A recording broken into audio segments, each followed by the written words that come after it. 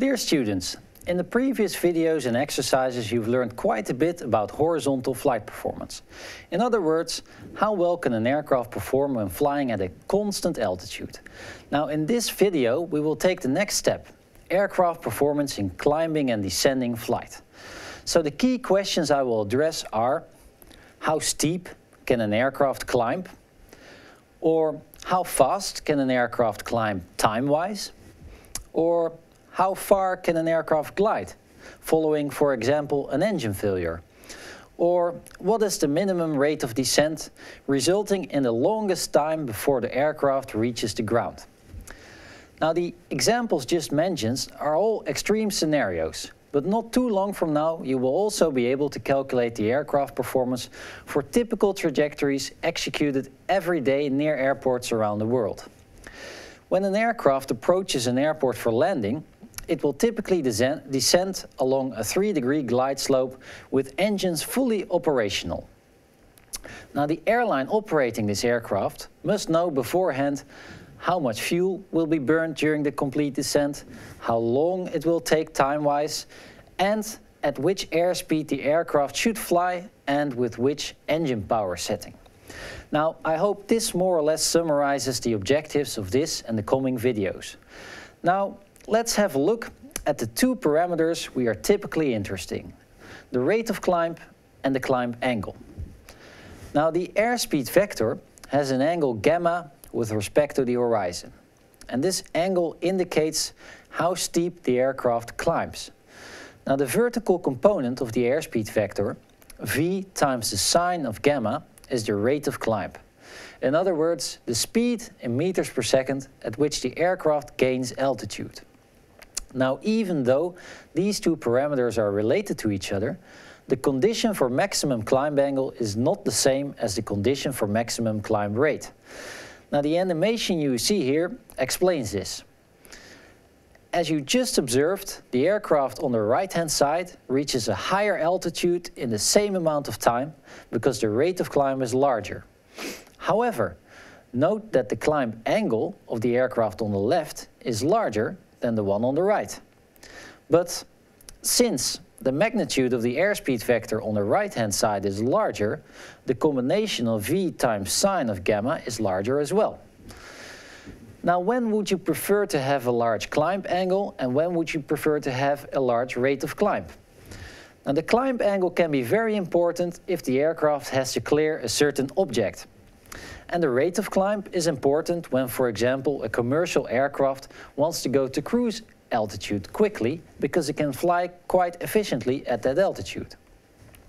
Now, in order to start calculating the maximum climb or descent performance, we need to have the equations of motion for this situation. Now remember that we already derived the general equations of motion for two-dimensional flight based on a free body diagram and a kinetic diagram.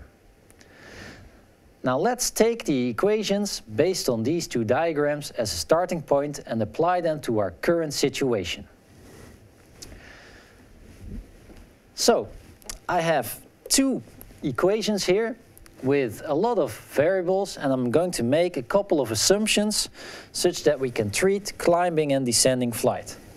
Now the first assumption I'm going to make is that we're flying along a straight line.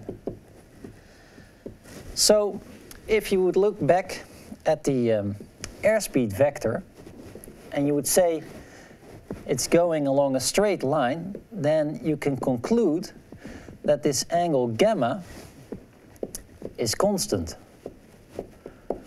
Of course, in reality, you could also have an airspeed vector along a trajectory which is changing, and in that case, gamma is not constant.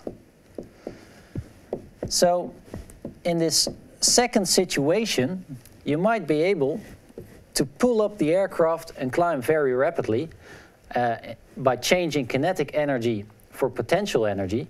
And you might get a very good climb performance in this situation, but you can only use that climb performance for a limited amount of time. And we are now more interested in this situation where you're climbing in one specific condition for a long period of time. So if gamma is constant, then the change of gamma with time will be equal to zero. So if we look back at our equation of motion, then we can say that this term is equal to zero. Now, the second assumption I'm going to make is that we're flying steady. And what do I mean exactly with steady? With steady, I mean that this v over here is a constant term.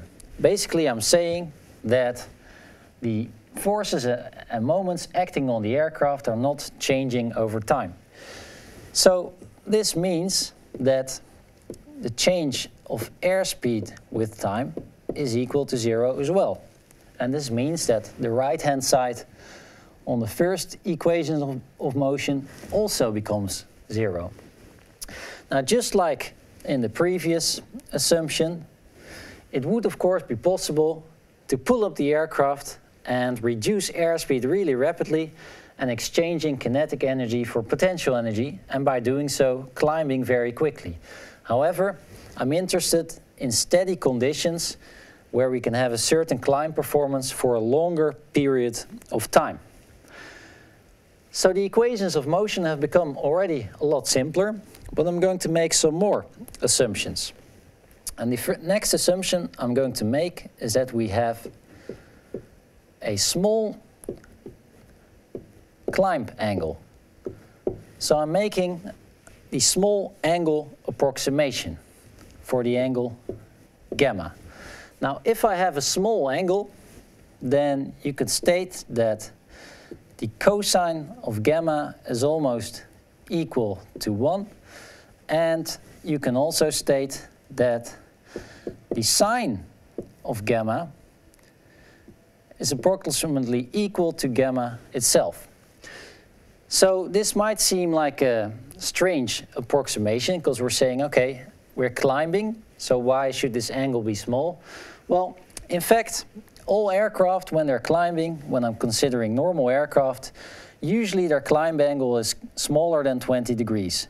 So just as a check, I would urge you just to take out your calculator and check for yourself what happens if I calculate the cosine and the sine of an angle of 15 degrees. So this is quite a large climb angle for a commercial aircraft. So you could also say that this is in fact 0.262 radians. Now, if I would calculate the cosine of this 15 degrees, then that's in fact the same as 0.97, almost equal to 1, with only a 3% difference. If on the other hand you would calculate the sine of 15 degrees, or this 0.262 radians, you will actually find that that equals 0.258. So this is something you cannot neglect. You cannot say the sine of gamma is equal to, zero, but you can say that it's almost the same as gamma itself. Now let's have a look and see what that does to our equations of motion. First of all, I can state that this term is equal to 1. Now the sine gamma over here actually remains. You can make that sine of gamma or you can approximate it by gamma itself. Now the most important uh, result of this small angle approximation is that in this second equation of motion, I completely remove the term gamma. Whereas in the first equation of motion, the gamma term will remain, whether it's either gamma or the sine of gamma. Now, since it doesn't matter that much if you have sine of gamma in, in, an equation or gamma itself, because you have the same number of variables, I'll just stick with this sine of gamma in the equation. now we're almost there. I'm going to make, make one final assumption, and that is that I'm going to assume that the thrust vector is parallel to the airspeed vector itself. Now in most cases, the thrust vector points in the same direction of the nose of the aircraft. Angle of attack is usually relatively small. So this is a pretty fair assumption. And we can say that the cosine of alpha t, so the cosine of the thrust angle of attack, is approximately equal to 1. And we can also say that the sine of alpha t, if we assume thrust perfectly parallel to speed, will be equal to 0. So in other words, if it's parallel to the speed, there will not be a perpendicular component of the thrust vector.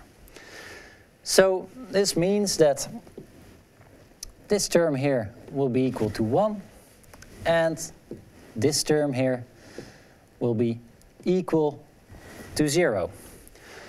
Now you should realize that this final assumption, if you have the specific angle at which the thrust vector is attached to the aircraft, you can leave the terms there. But for this specific derivation, I'm going to make our life as simple as possible. And you can see that a lot of terms are removed from the equation now. So let's rewrite the equations of motion.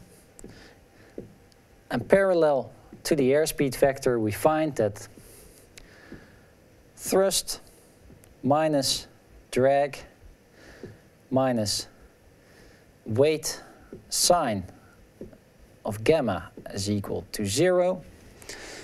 And the other equation I have, perpendicular to the speed, says that lift minus the weight is equal to zero.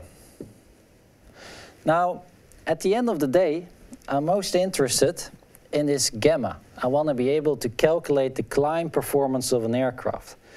So I can also rewrite this first equation and state that the sine of gamma is thrust minus drag divided by the weight. So basically, I have one equation with which I can calculate the climb angle. Now, second equation we should not forget is that we also have lift is equal to weight. Now, like I stated um, at the start of this item, we're not just interested in the sine of gamma, but we're also interested in the rate of climb. And this is equal to the vertical component of the airspeed vector, v times the sine of gamma. So it would be nice also to have an equation with which we can calculate this term. Now we can obtain such an equation if we multiply this equation with airspeed. If you would do so, you would get that v sine of gamma is equal to t times v minus d times v divided by the weight. Now remember that thrust times velocity is in fact power available and drag times velocity is in fact power required. So we can also state that the rate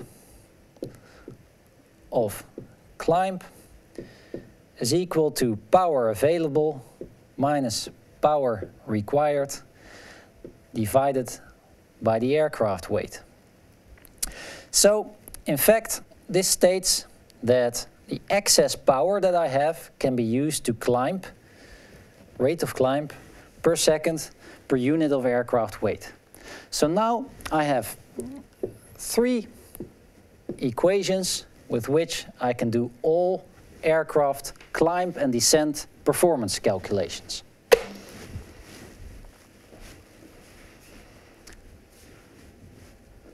Um, zal ik gewoon meteen verder gaan?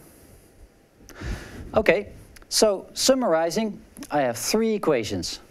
One equation of motion that states that lift should be equal to weight, a second equation of motion which we can use to calculate the climb angle, and finally a power equation which was derived from the second equation of motion, from which the rate of climb can be calculated. Now please note that I made several assumptions to arrive at these simple equations. In principle, you do not have to make these assumptions, like the small angle approximation. But if you do so, it greatly simplifies the calculations and it becomes possible to calculate an analytical solution for most aircraft performance problems without really affecting the final result. If on the other hand you want to be very accurate and not make all these assumptions, then you should find the result by means of a numerical approach or in other words by using a computer.